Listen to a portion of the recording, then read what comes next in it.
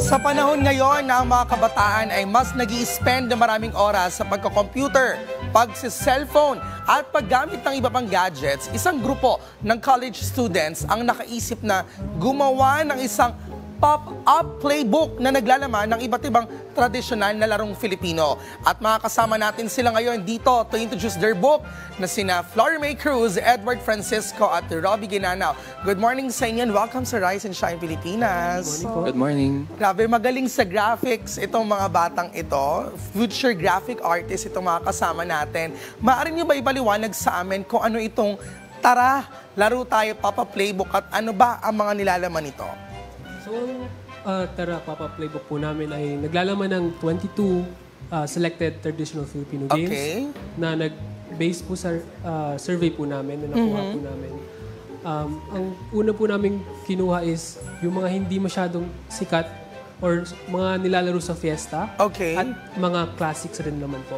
Ayun. Ano yung mga games? Tignan nga natin. Sige, eto. Meron tayong dama. So kapag finip mo siya, Ayan meron yung- siyang nakalagay na instructions Opo. kung paano mo siya lalaruin. Hindi lang yon kasi makikita mo mismo yung image or yung picture kung paano talaga siya nagkakaroon na naglalaro siya. Medyo hindi ko na mabuklat, baka masira ko siya. Ay, ang galing! Pwede po kayong maglaro ng damo. Oo. In fairness sa kanya, so per game, isang book ang mangyayari. Um, bali po isang page po. Isang page siya. Ito, ay parang alam ko to. Ito yung kapag merong love, hate, or kung sino yung crush mo. Di ba? Ito yun sa paper. Tama ba? O baka mali ako? Ayan. Word po kasi siya na pwede po silang maglaro. Ah, okay. Opo. And this one, ano to? Buksan. Opo, bali yan po yung panglaro po nila sa Ah, dama. ito, yung Opo. pangtantos niyo sa inyong dama. So parang pwede na kayo maglaro dito mismo. Opo, pwede na po. Ang galing. Well, ginawa niyo ito bilang parte ng inyong thesis. Ka-graduate na rin kayo next year. Yes, Tama? eh bakit ito yung naisipan ninyong konsepto ng libro? Ano ba yung mga challenges din syempre? Alam ko naman, yung mga pinagdaanan kayo para mabuhay itong pop-up playbook ninyo. Ang una po kasi namin naisip is, ano yung laro na, ay, I mean, ano yung bagay or topic Okay. na magko-connect kami sa, ano, apat po kasi kami. So, una po namin naisip is, ano po yung, Asan yung isa hindi sumasali siguro sa thesis niyo to, ay, no? hindi, po, siya active. nasa ibang bansa po siya. Ah, ay, sorry. Okay, go, go ahead. Oh. Um, t- yung napag-usapan po namin is, ano ba yung madalas nating ginagawa nung bata tayo? Okay. So, ayun po yung pag naglalaro po kami sa kalye, yung mga kaibigan. Mm. So, yun po yung namimiss namin. So, Ayun. doon po kami nagsimula. So, nag-relapse kayo bigla. Opo. Oo. Tsaka po, Ikaw, Robbie, anong favorite mong game ang nilagay mo dito? Ang paborito ko pong laro ay yung Luksong Baka po talaga dati Luksong pa. baka. So, dito, syempre, hindi mo magagawin luksong baka. Ako po. Oo, ah, ang- instructions. Mhm, sa part lang po. Tapos dahil po sa pop-up, may mga motion po and Oh, may mga... okay. May entertain po talaga yung mga bata pag nakikita nila yung mga pop-up. Ang galing, no? Kasi napagsama natin yung importance ng traditional games, applying it in today's time with popular culture. Sa tingin nyo, bakit kailangan na mapreserba, maprotektahan at mas maipromote pa yung mga traditional na larong Pinoy? Go ahead. um, syempre po dahil Filipino po tayo. So Okay. parang may duty na rin po tayo na i-preserve po natin yung kultura po natin. Syempre para rin po sa susunod na henerasyon, hindi po makalimutan, ganyan. Kasi po di ba, alulong na po yung iba sa ba- kabataan ngayon sa gadgets.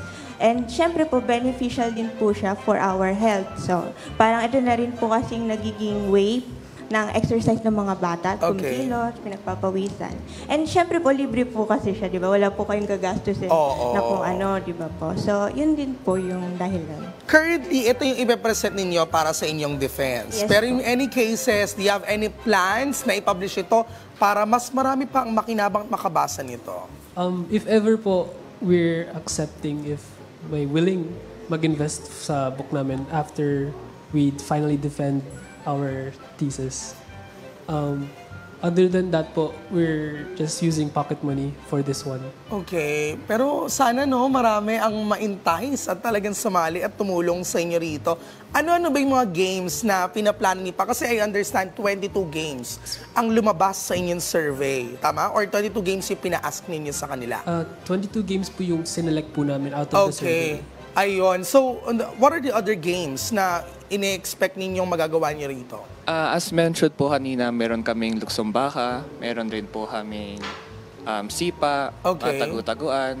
Tapos may mga games po kami na hindi namin na-pop up pero ah, ginawa Bakit po namin. tagu-taguan? Parang tinuturuan yung bata mang ghost. Ay, hindi naman po. Huwag ganon ha. Ayan ha. Pero baka may mga mag- magka-interest na publishing house na gustong tulungan kayo na maipublish ang libro ninyo. Paano ba nila kayo pwedeng ma-reach?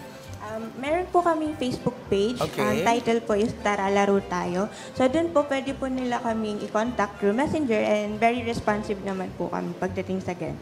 Ayan. So good luck sa inyong defense, ang ating mga feature graphic artists, sa makakatulong syempre para sa kagandahan ng sining dito sa ating bansa at sa buong mundo. Ayun o, ang ganda-ganda nung kanilang playbook pop-up. So tara, supportahan po natin ito. Thank you so much for being with us this morning. Flora May, Edward, and Robbie, stay safe Thank sa inyo and congratulations. Thank you po. Thank you.